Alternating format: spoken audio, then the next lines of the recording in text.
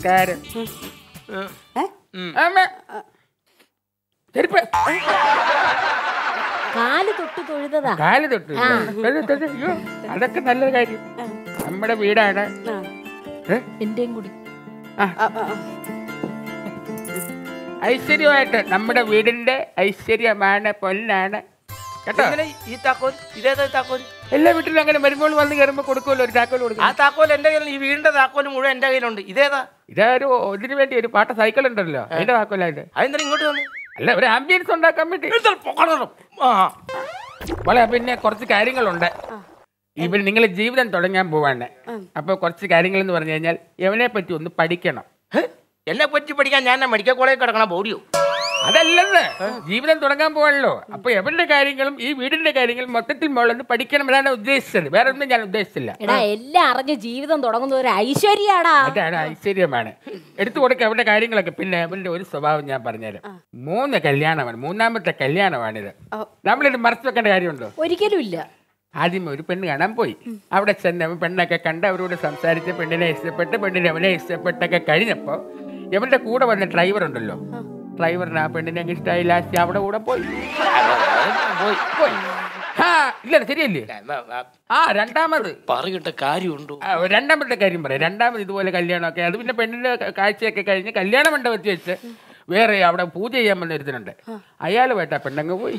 അയ്യോ ഇത് മൂന്നാമത്താണ് ഒന്നി പഴിച്ചാൽ മൂന്നെന്നാണല്ലോ ഞാൻ പഠിച്ചു നീ എന്നല്ല ഞാൻ എവിടെ കാര്യമല്ലേ പറഞ്ഞു ഞാൻ പഠിച്ചിട്ടില്ല. ഓ നിന്റെ കാര്യമല്ല ഞാൻ എവിടെ കാര്യമാണ് പറഞ്ഞു ഇത്രയും കാലം കൂടെ ജീവിച്ചിട്ട് ഞാൻ പിഴച്ചോളന്നോ എടി പിഴച്ചവളെ എന്റെ നാക്കൊന്ന് പിഴച്ചതാ. ആ മര്യാദയ്ക്ക് പറഞ്ഞു കൊടുക്കും മനുഷ്യ പിള്ളേർക്ക്. അപ്പൊ അതാണ് എന്റെ സംഭവം. മോൾ വേണം ഞാൻ എന്റെ കാര്യങ്ങളൊക്കെ നോക്കി എന്റെ താളത്തിന് കൊണ്ട് നടന്ന് അവന് ഇവന്റെ പുരുഷത്വം ജനകാരിയാണ് എന്താണ് പുരുഷത്വം. ആ വിളിച്ചേ. ആ.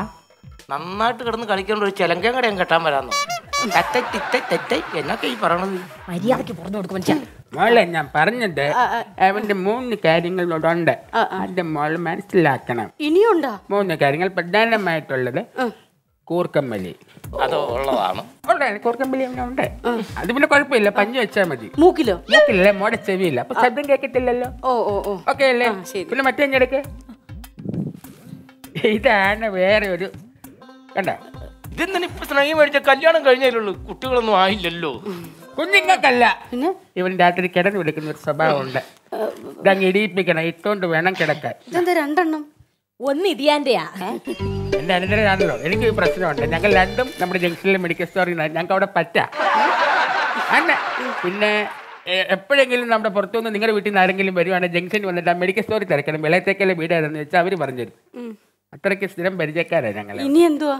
ഇനിയിപ്പോ അവന്റെ പ്രധാന പ്രശ്നം ഒന്നുമില്ല. അത് പറയടാ. അല്ല അത് അതെന്തെന്നറിയാമോ രാത്രിയിൽ ഇറങ്ങി നടക്കും. എന്താ? രാത്രി ഇറങ്ങി നടക്കും. രാത്രി ഉറക്കത്തിൽ ഇറങ്ങി നടക്കുന്ന സ്വഭാവമുണ്ട്. അതെന്ന് പറഞ്ഞു കഴിഞ്ഞാൽ ഇങ്ങനെ സ്വപ്നവാ. സ്വപ്നത്തെ പോലും അറിയാൻ. നേരെ അങ്ങ് പോ സുമതിയുടെ വീട്ടിൽ ഞങ്ങൾ പിടിച്ച് വലിച്ചഴച്ച് ഇവിടെ കൊണ്ടുവിടുവായിരുന്നു. അത് ഉറങ്ങിപ്പോയൊന്നും അല്ല നേരിട്ട് പോയത് അല്ല, അല്ല, ഉറങ്ങിപ്പോയതാ? ഉറങ്ങിപ്പോയോ ഉറങ്ങിപ്പോയെന്ന് ഉറങ്ങിപ്പോയി അവനെ പിടിച്ച് വലിച്ച് ഇവിടെ അങ്ങനെയൊക്കെയുള്ള സ്വഭാവമേ ഉള്ളൂ. പിന്നെ ഇനി ഇതിനകത്ത് ഒന്നും പേടിക്കാനില്ല. പ്രധാനമായ ഒരു കാര്യം ഇതൊരു വീടാണ്. ഈ വീട്ടിലെ മോളാണ് ഈ വീടൊരു ബസ്സായിട്ട് കാണുന്നു. മോളാണ് ആ വീടിന്റെ ഡ്രൈവർ ബസ്സിലെ ഡ്രൈവർ അത് കണ്ടക്ടർ ഇത് ഞങ്ങൾ രണ്ട് പാവം പിടിച്ച യാത്രക്കാര്. ആണോ? യാത്രക്കാർക്ക് ഇറങ്ങാനുള്ള സ്ഥലമായി. പോയി ഇറങ്ങ. ഞാനേ കുറച്ച് കാര്യങ്ങൾ ഒരു കാര്യം പറയണം ഇറങ്ങി. യാത്രക്കാരെ. ഒരു സ്നഗ്ഗി കൂടെ. അല്ല കൊച്ചേ ഞാനേ. ആദ്യമായിട്ട് അതിന്റെ ഒരു ചെറിയൊരു ഇതുണ്ടല്ലേ? പാലിങ്ങട്. ആ. നീ കുടിക്ക. ഇല്ല ചേട്ടൻ കുടി. നീ കുടി. ചേട്ടൻ കുടി. നീ കുടി ചേട്ടൻ കുടി.